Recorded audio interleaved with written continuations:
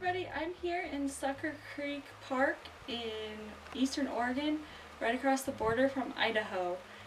Uh, I've never been to this region of Oregon before that I can remember at least, so I was surprised at how beautiful it is here. I had heard that eastern Oregon is kind of a high desert look, so I didn't really know what to expect, but as you can see in the background, there's some really huge red geological formations here, and it's very hot, it's about 95, which is why I'm so red, but it's just a really gorgeous area, and even though it's Friday afternoon, and you'd think there would be a lot of people here getting ready to camp, there's currently almost no one here. It's pretty much empty.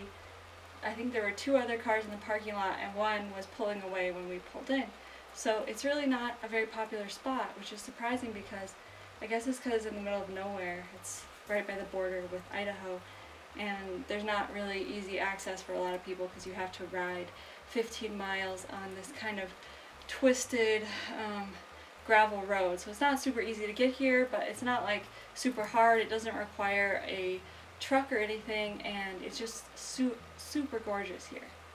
So it's really beautiful, and it's a place I never even had heard of before. I just came across it and thought it would be interesting to stop on.